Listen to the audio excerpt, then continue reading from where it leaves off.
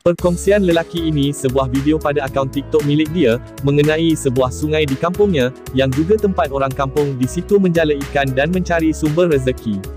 Walaupun sungai itu kelihatan tenang, lelaki ini telah membuktikan dengan membaling sesuatu ke dalam sungai itu.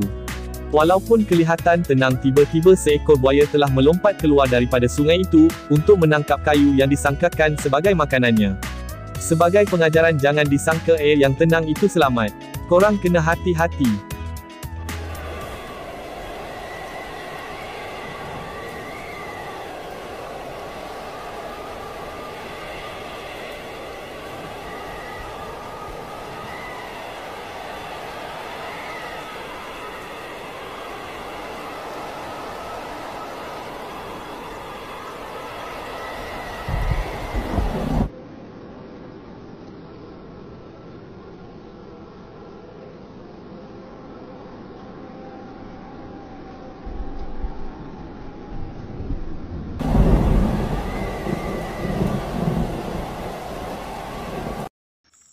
Oke okay guys, kita dari cek pokat guys.